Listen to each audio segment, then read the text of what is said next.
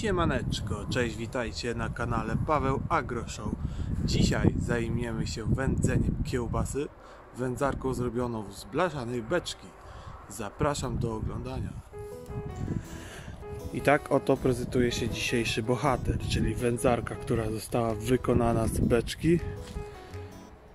Zostało dokupione już gotowe palenisko i rura blaszana. Beczka to jest jakaś starego typu, nie wiem, o pojemności bardzo dużej, 400, 350 litrów. Jest skrócona około 30 cm.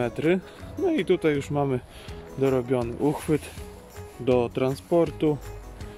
Yy, Z wieczka beczki jest zrobiony daszek z uchwytami, z wywiecznikiem dymu. I tutaj pod spodem mamy zrobiony już taki stelaż z nóżkami z drugiej strony kółeczka przystosowane do, do transportu tego, bo jest to wędzarnia mobilna.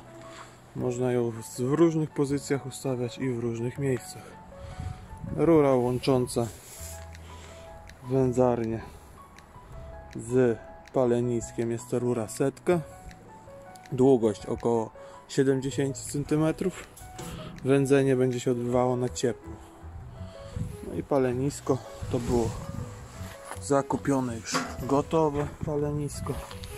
Wymiary bodajże są 35 na 35 takiego paleniska. Ma tutaj wykonane otwory. I w środku dodatkowo ma ruszta. Ruszta z dławikiem dymu. Także jest to bardzo pomocne przy wietrze. A tutaj mamy w wędzarni zastosowane kolanko, gdzie możemy połączyć je z paleniskiem.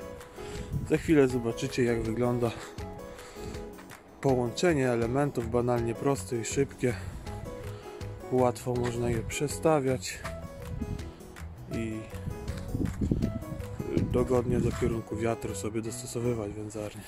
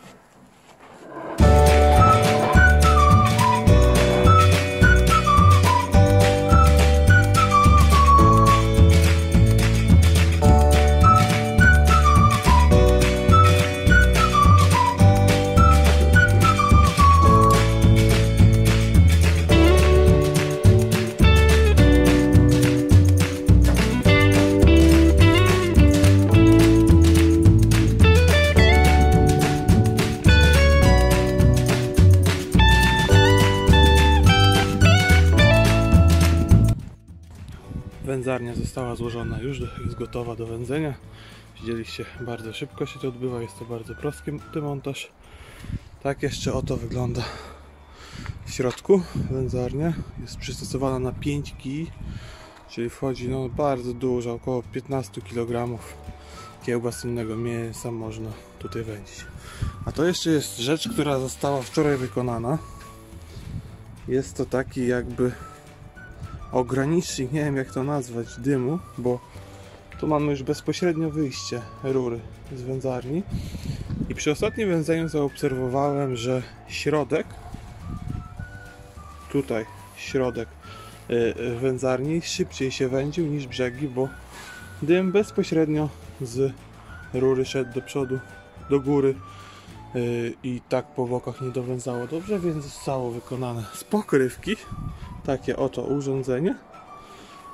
I proszę bardzo, stawiamy sobie i dym nie idzie już bezpośrednio w górę, tylko będzie się ładnie rozchodził po całej wędzarce.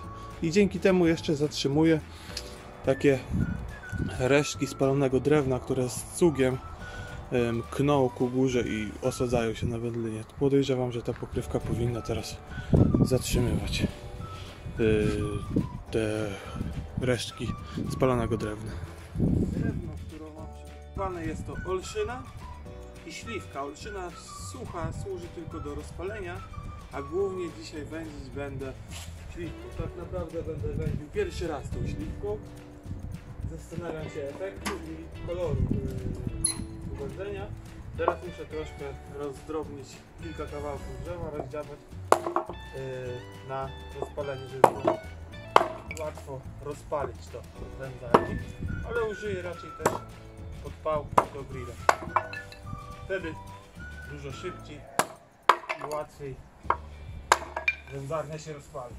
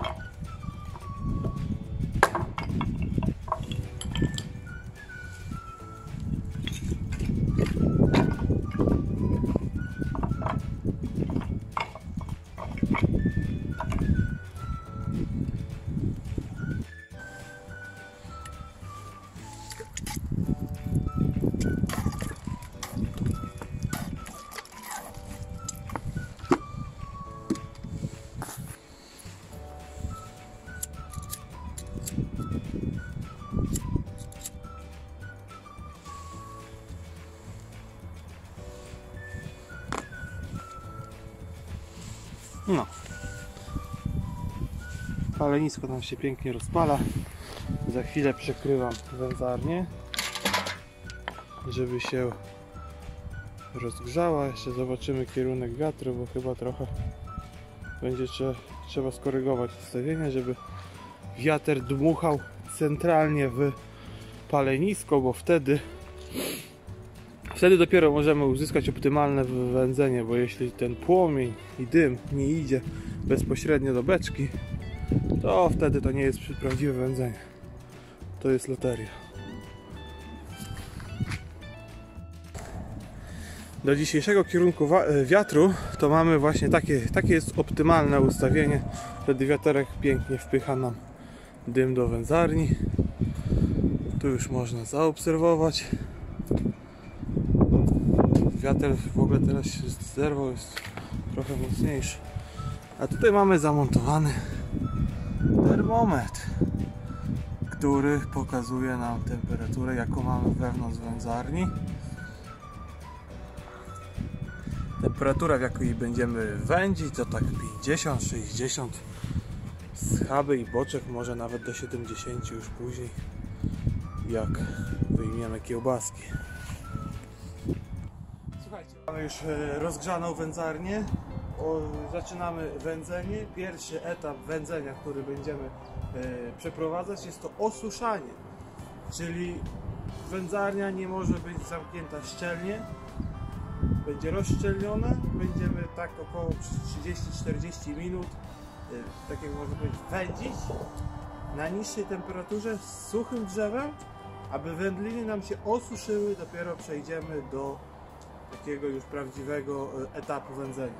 Zaczynam nakładać wędliny na kije i rozpoczynamy osuszanie.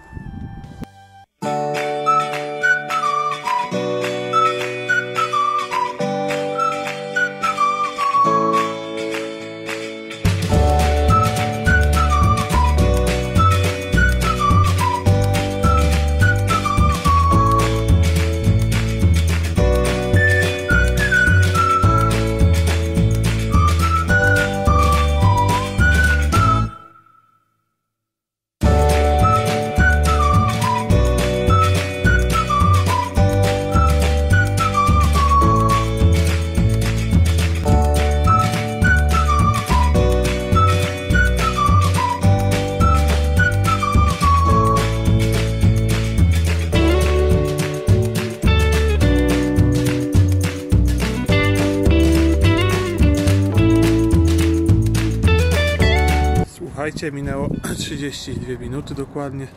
Mamy już osuszone wędliny, nawet kiełbaska złapała nam już delikatnie koloru. A więc teraz zamykamy wędzarnię szczelnie. Yy, dokładamy drzewa ze śliwki, które to właśnie drzewo ma nadać nam jakiś nowy kolor, bo jeszcze nie wędziłem tym drzewem. I pilnujemy sobie tylko temperatury i co jakiś czas kontrolujemy to, co dzieje się w wędzarni. W wędzarni mamy już jakieś 60 stopni. Yy, Wędzarnia jest zamknięta szczelnie, także możemy sobie śmiało wędzić jakieś około plus minus 3 godziny i kiełbaskę będziemy wyjmować i będziemy ją parzyć. Tutaj mamy efekt już yy, po niespełna dwóch godzinach. Powiem Wam, że cukier, który dodaje się do mięsa, aby nadał kiełbasie odpowiedni kolor, naprawdę robi robotę. No powiem Wam, że jeszcze godzina to maks, to już maksimum godzina i wyjmiemy wędlinki. To znaczy samą oczywiście kiełbasę, bo schaby i boczek będą musieli dłużej pozostać, co najmniej jeszcze dwie godziny dla schabu.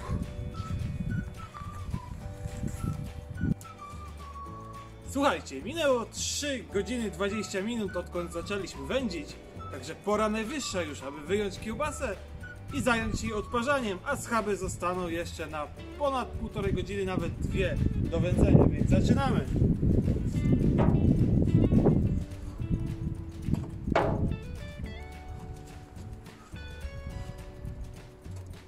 Kiełbaskę mamy uwędzoną ma... optymalnie można powiedzieć. W świetnej kolorze. Zaczęła się marszczyć, więc kiedy się kiełbasa zacznie marszczyć podczas wędzenia, to oznacza, że proces trzeba zakończać. Tak się prezentują schaby, które jeszcze no, potrzebują wędzenia.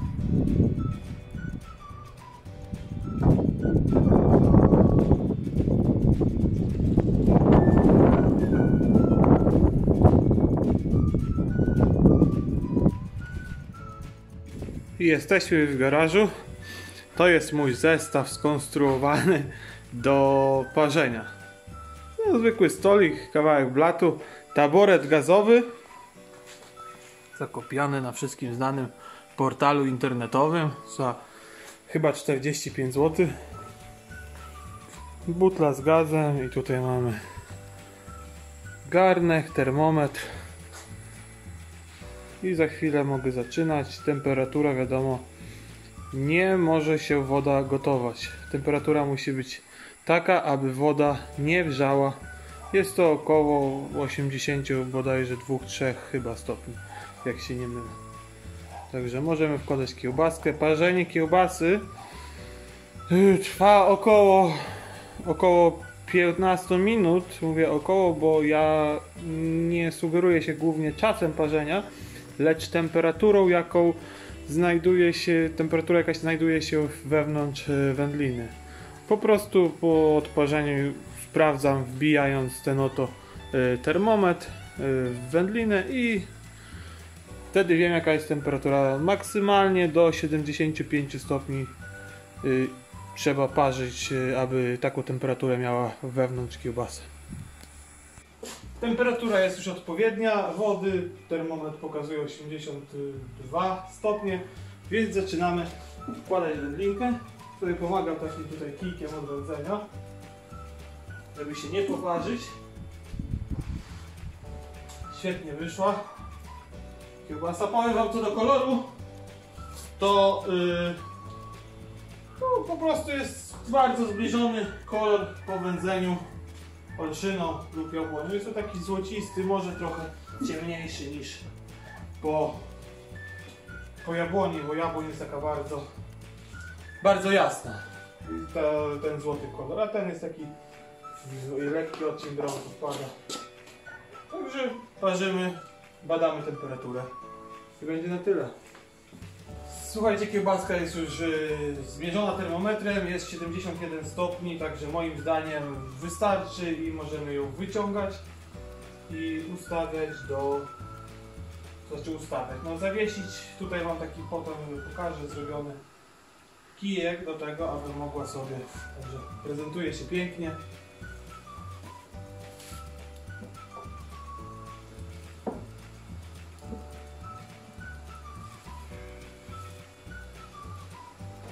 I ostatnia, także mamy kiełbaskę odparzoną, tylko czekać aż ustygnie. Słuchajcie, minęło już 4,5 godziny odkąd zaczęliśmy wędzić schaby, także czas najwyższy, żeby zacząć je odparzać. Zobaczcie, tak wyglądają. Moim zdaniem bardzo pięknie wyszło wędzenie. To jeden boczek jedyny, który mieliśmy. I schaby będą się odparzać dużo dłużej.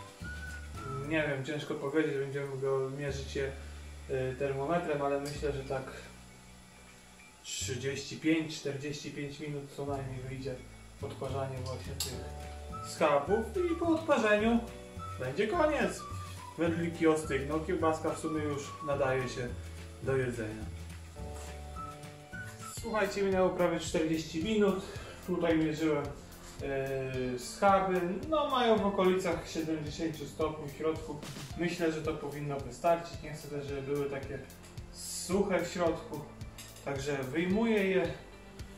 Tak naprawdę mamy zakończoną pracę na dzisiaj.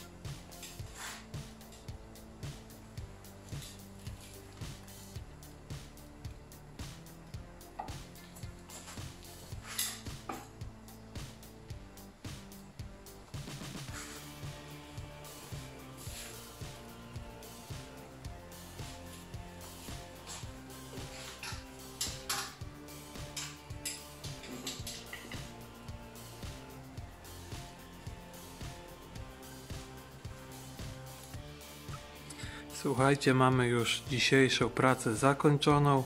Kiełbaski powędzone, odparzone. Czekają tylko na ustygnięcie i możemy próbować. Tak się oto prezentują. Wydaje mi się, że wyszło to bardzo ładnie. Tak kiełbaski, tak schabiki, boczek. Co zaobserwowałem przy po odparzeniu yy, schabów i boczku, że jednak drzewo z e, śliwki daje bardziej czerwieniasty kolor. Wędzenie y, olchą albo jabłonią daje nam złocisty. Tutaj tak na kiełbasie nie dało się zaobserwować, ale tu na boczku bardzo ładnie widać jak czerwieniastą taką barwę nam daje śliwa. Podobność jeszcze taki kolor można uzyskać przy wędzeniu wiśni. A tutaj jeszcze chcę Wam na koniec pokazać to to palenisko, ono było używane dopiero drugi raz. To co na początku prezentowałem. Co do budowy nie mam najmniejszych zastrzeżeń, bo naprawdę sprawuje się bardzo dobrze. Ale w ogłoszeniu jak kupywałem to, to było napisane, że jest to pokrywa proszkowa żaroodporna. No moim zdaniem tu komuś się pomyliła farba żara, żaroodporna farbą plakatową, bo to jest masakra, co, co się stało z tym paleniskiem po drugim dopiero wędzeniu. A więc to będzie tyle na dzisiaj. Jeśli się Wam film podobał, zostawcie łapkę w górę i zasubskrybujcie mój kanał. Do zobaczenia w kolejnym odcinku. Na razie, cześć!